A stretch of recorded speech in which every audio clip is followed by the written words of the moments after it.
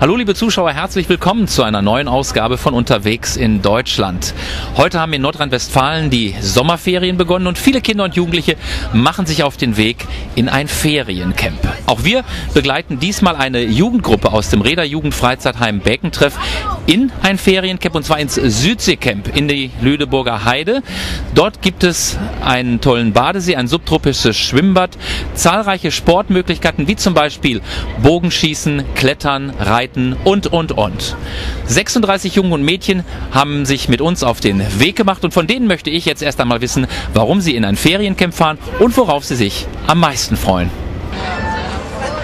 Ich habe Wascheschnitt. Ich habe Wascheschnitt.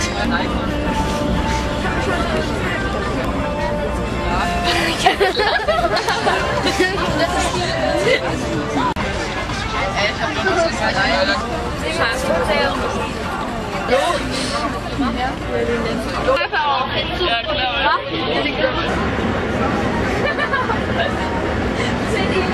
Warum fährst du mit äh, und setzt deine private Freizeit dafür ein, ja, anderen Jugendlichen eine äh, Ferienfreizeit zu ermöglichen? Ja, die Jugendlichen haben mich selber auch gefragt, ob ich gerne mitfahren würde. Ich habe zugestimmt und deshalb bin ich jetzt auch mit dabei. Ja, und meine Freizeit verbringe ich eh gerne mit den Jugendlichen. Dann habe ich gedacht, kannst du das auch im Urlaub machen. Ich leite, wie gesagt, die Fußballgruppen im, im Belkentreff und äh, Motivation ist auch, dass viele Fußballer mitfahren. Und äh, ja, es macht mir auch riesen Spaß, sie zu begleiten. Und ich glaube, die Jungs haben auch Spaß, wenn ich, dass ich mitfahre. Ja, ich bin ja schon in mehreren Lagern mitgefahren und die Arbeit mit Jugendlichen und Kindern macht mir einfach Spaß. Ja, erstmal macht es mir riesigen Spaß, mit den Jugendlichen zu arbeiten und halt mit ihnen halt in den Urlaub zu fahren. Da ich später eigentlich auch Lehrer werden möchte, ähm, ist das halt eine gute Übung, einmal die Jugendlichen besser kennenzulernen und somit eigentlich auch so eine Bindung aufzubauen und auch mal zu gucken, ob das überhaupt das Richtige für mich ist.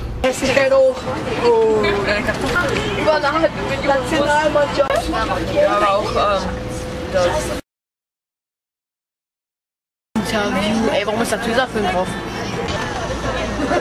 Mario, mach mal.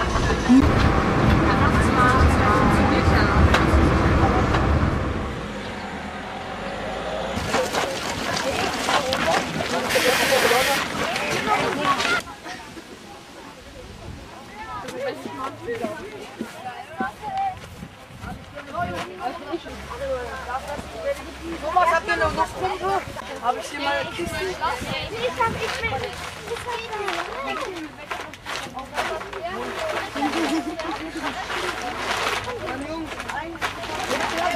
Ja, wie wir gerade in den Bildern gesehen haben, hat sie heute Mittag ordentlich geschüttet. Trotzdem haben wir im Regen unsere Zeltstadt aufbauen können. Wie war denn das Aufbauen heute Mittag hier? Ähm, das war ein bisschen stürmisch und wir mussten den Zeltboden austrocknen. Noch nach dem Also, Regen. also nicht nur stürmisch, sondern es hat auch Ja, geplästert. Auf jeden Fall mussten wir alles ja, ganz schnell zum Pavillon bringen, damit unsere Sachen nicht nass werden. Dann mussten wir nachher noch das Zelt ganz putzen von innen. Dann war alles nass. Und dann war nicht so ganz so schön. Aber Also aufbauen bei Regen ist, glaube ich, schlimmer als abbauen bei Regen. Dann kann man zu Hause in Ruhe trocknen. Hier muss man sehen, dass man jetzt in nasse Zelte einzieht. Oder sind die inzwischen schon wieder trocken? ja, inzwischen sind sie so wieder trocken. Aber das geht halt eigentlich. Bis jetzt macht das Spaß.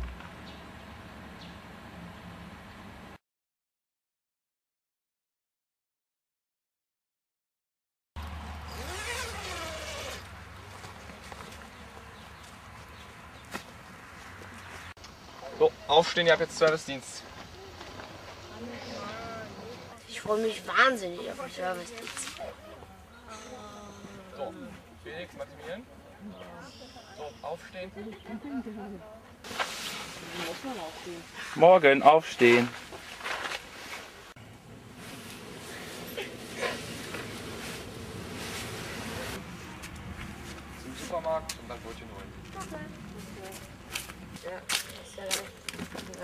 Kiste.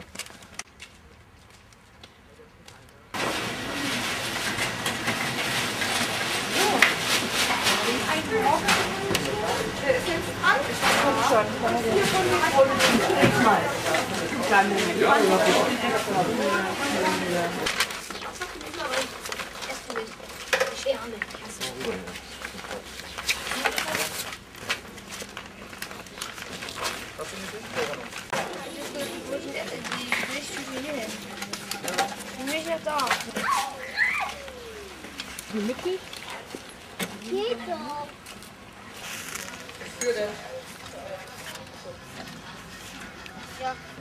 Zum Frühstück sind heute Morgen alle überpünktlich da gewesen. Bereits zehn Minuten vorher saßen alle an ihren Tischen und lassen es sich jetzt natürlich auch schmecken.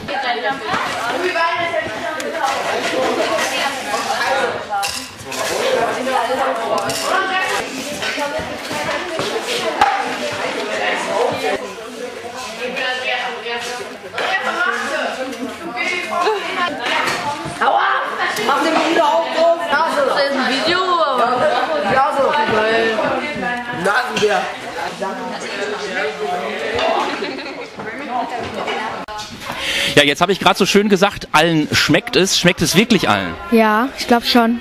Was gibt's denn heute Morgen alles zum Frühstück? Also es gibt Cornflakes, Brötchen mit Aufschnitt und ähm, ja, Nutella und so. Ja, und äh, wie sieht's bei dir aus? Ja, schmeckt eigentlich. Ja, schmeckt gut? Ja.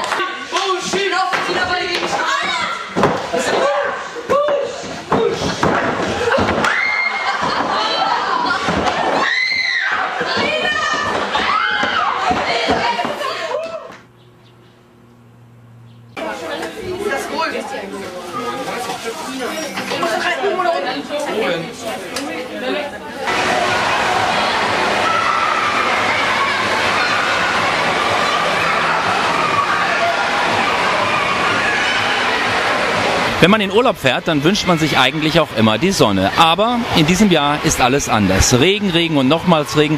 Und hier im Südseecamp, da geht es heute nicht an den großen Badesee mit endlosen Sandstrand, sondern da geht es ins subtropische Schwimmbad. Aber auch das hat eine ganze Menge zu bieten, nämlich ein Wellenbad, eine Steilrutsche und die Nummer eins hier bei den Kids ist der Wildwasserkanal.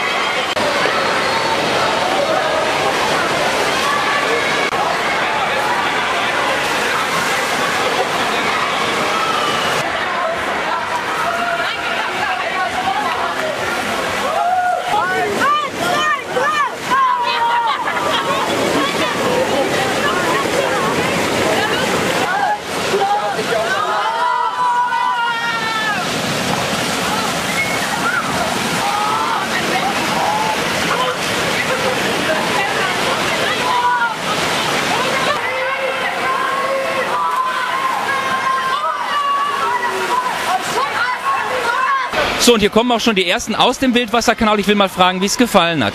Wie hat euch die Fahrt im Wildwasserkanal gefallen? Super gut. Was war das Beste dran? Äh, das Treiben und das, die Rutschen. Und die Kurven. Die Kurven. Ja, und wie war es bei dir, Marvin? Ja, auch ganz toll. So,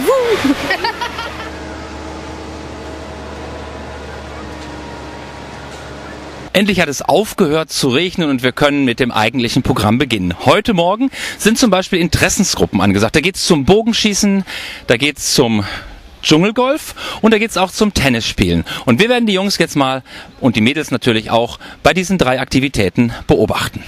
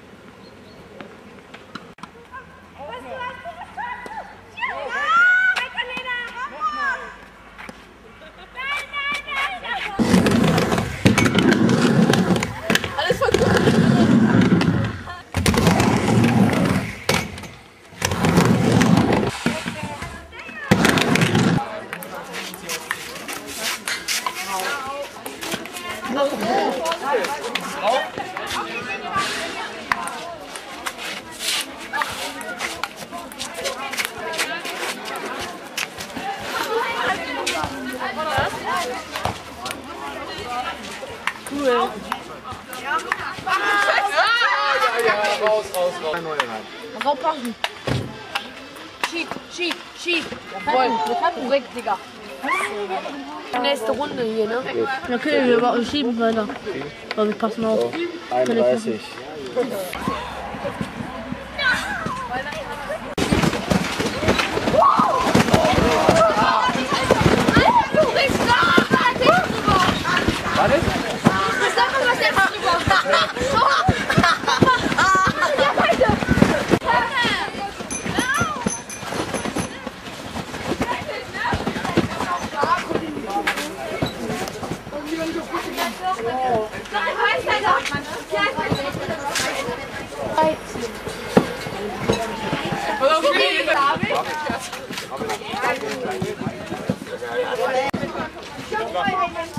よろしくお願いします。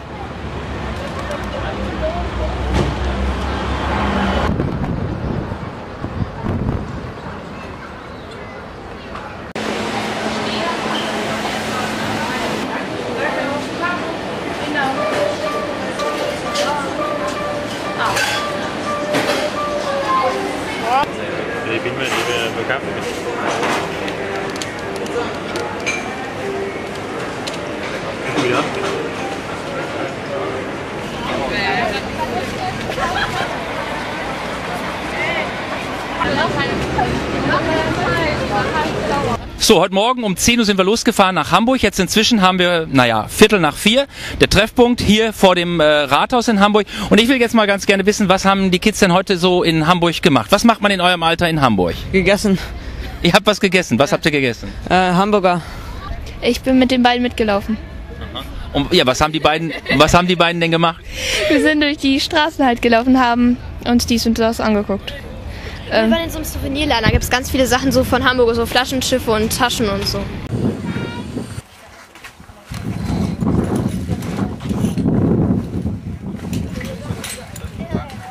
Wenn die Beinschlaufen zu fest sind und die Oberschenkel sich beim ähm So, heute gibt's wieder Interessengruppen.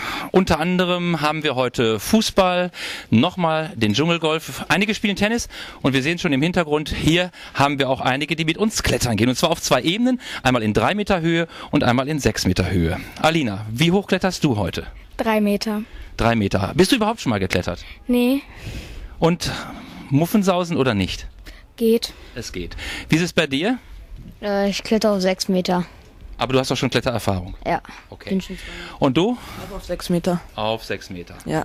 Und Lena? Auch auf sechs Meter. Ja, wunderbar. Okay, die meisten klettern also auf sechs Meter Höhe. Ich selber übe erstmal auf drei Meter und vielleicht traue ich mich dann auch auf sechs Meter Höhe.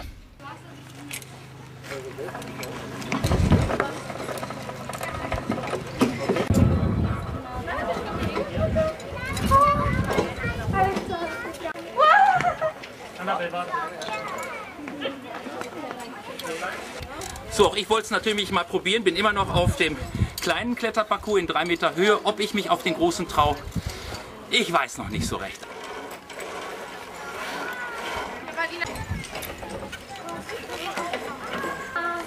Ich komm hier schon nicht rüber. Ehrlich?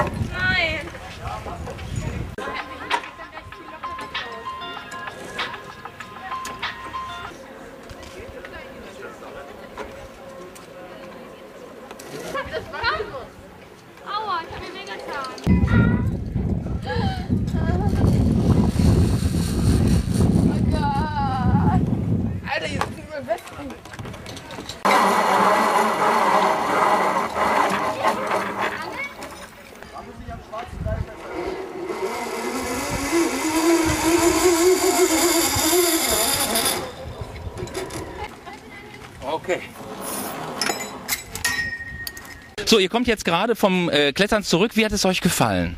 War cool, aber ziemlich anstrengend. Und wie war es für dich? Ja, war wirklich anstrengend, aber hat Spaß gemacht. Was war für euch die schwierigste Stelle? Also die schwierigste Stelle oder die anstrengendste Schwelle war eigentlich da hinten gibt es so ein Gitternetz, wo man dann halt äh, äh, zwischen äh, oder an der Seite herklettern muss. Das war ziemlich anstrengend. Und wo war es für dich am schwierigsten? Auch dort oder woanders? Ja, an derselben Stelle. Was war denn die schönste Stelle? Ja, am Ende die Seilrutsche, wenn man dann halt mit äh, Speed da so runterkommt. Das, Für dich auch? ja. Okay, dann begleiten wir jetzt mal direkt wieder die nächste Gruppe und dann wollen wir gleich mal hören, was der Begleiter sagt, wie der alles einschätzt, wie sich die Einzelnen so angestellt haben.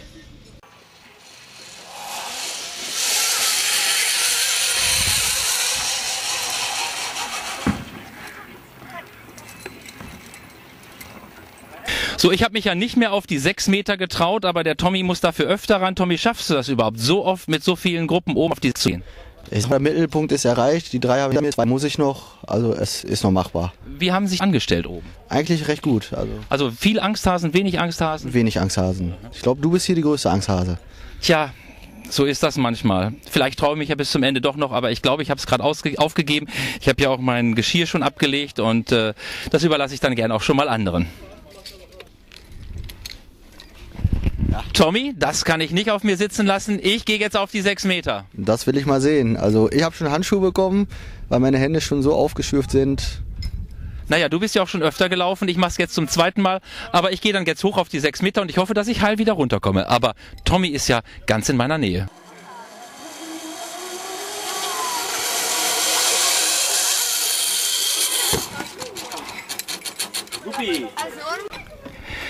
Ja, wir haben es ja gerade gesehen. Kamerakind Felix hat mich gefilmt, wie ich runtergekommen bin. Alle kommen durch, hat man mir gesagt. Ich habe es geschafft, ich bin ein bisschen stolz auf mich, aber Tommy, du hast es gesehen. Ich glaube, es war schrecklich, mir zuzugucken, oder? Also zuzugucken war schrecklich, aber du hast es echt gut gemeistert, trotz Hilfe. Ich bin stolz auf dich. Ich danke dir, Tom. Urlaub mit Action im Südseecamp. Endlich kann es losgehen, denn zum Südseecamp gehört natürlich auch die Südsee und da gehen wir heute baden. Heute endlich ist es so warm. Wir haben insgesamt 25 Grad, eine, naja, halbwegs angenehme Wassertemperatur und wir werden jetzt erstmal richtig baden gehen.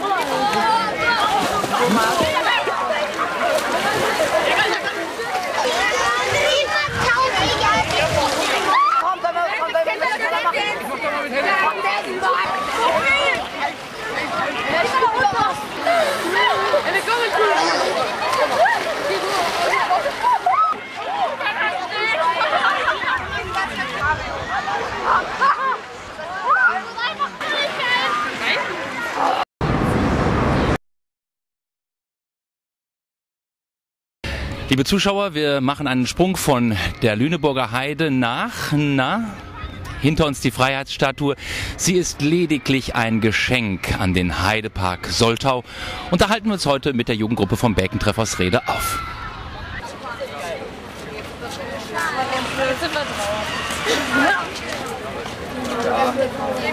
Hab ich, hatte ich auch, aber ich war nicht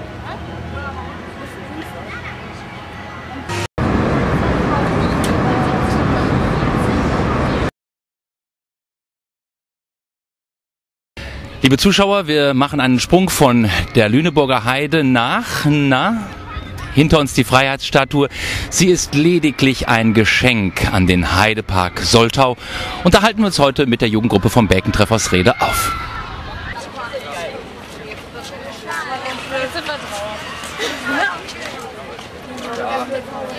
Hab ich, hatte ich auch, aber ich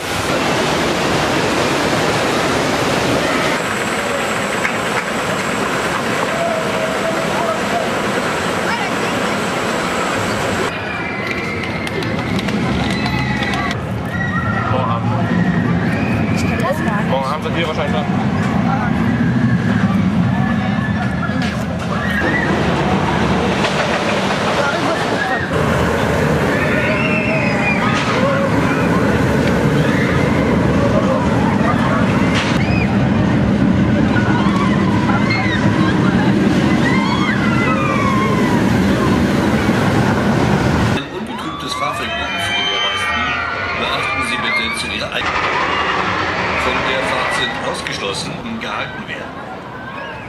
Personen, die aufgrund einer Behinderung leiden, Herz, Kreislauf, beschädigt.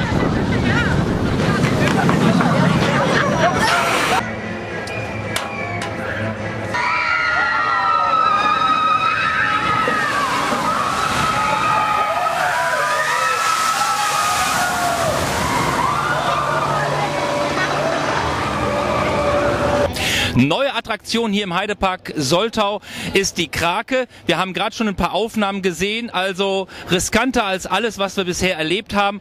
Und äh, ja, Moritz, bist du gespannt? Ja, klar. Fährst du? Bist du nervös? Ja, sicher fahre ich. Ja, ein bisschen nervös bin ich auch.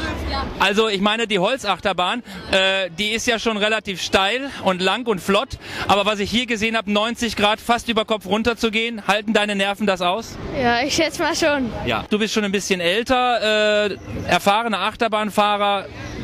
Was sagst du zu der Krake hier im Park? Ja, ich würde sagen, es ist eine total super Attraktion, aber eigentlich auch, dass es eigentlich mal eine ganz neue Art von Achterbahn ist. Weil so eine Achterbahn hatten wir eigentlich noch nie.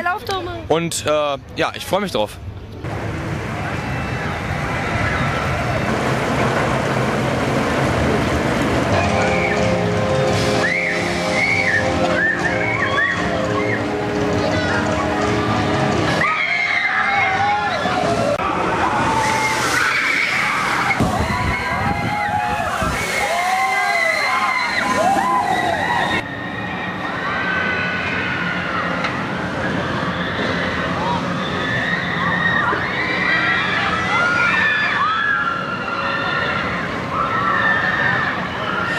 Okay, jedes Feriencamp geht einmal zu Ende. Auch bei uns ist es jetzt soweit. Und jetzt will ich erstmal fragen, wie ist denn die Stimmung hier am letzten Abend?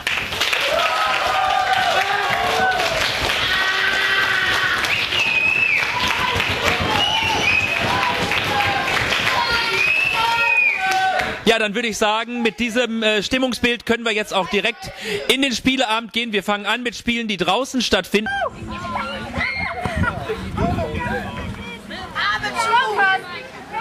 Der kann wieder reinkommen. Ne? Raus,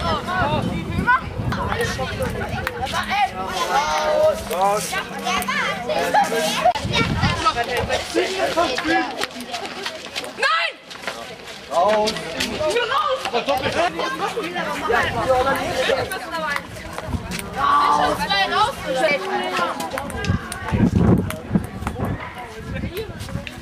Wir sollen in die falsche Auf einmal kommt der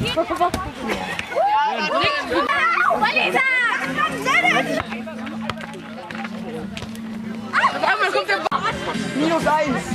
Da! Ja, gib noch zehn.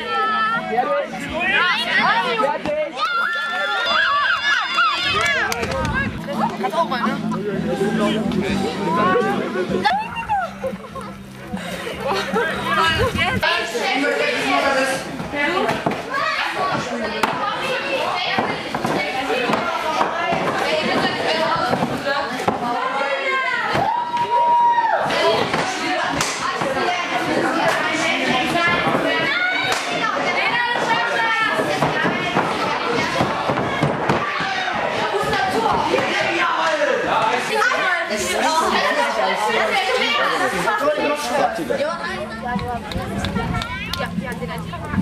Tja, liebe Zuschauer, die Zeit im Südseecamp, sie ist zu Ende. Die Jugendlichen fahren wieder zurück in ihre Heimatstadt Rede. Auf den Autobahnen soll es voll sein. Ich hoffe, wir kommen gut durch. Ihnen wünsche ich alles Gute und wir sehen uns vielleicht wieder mal, wenn es heißt, unterwegs in Deutschland. Tschüss und auf Wiedersehen, Ihr Thomas Tangelda.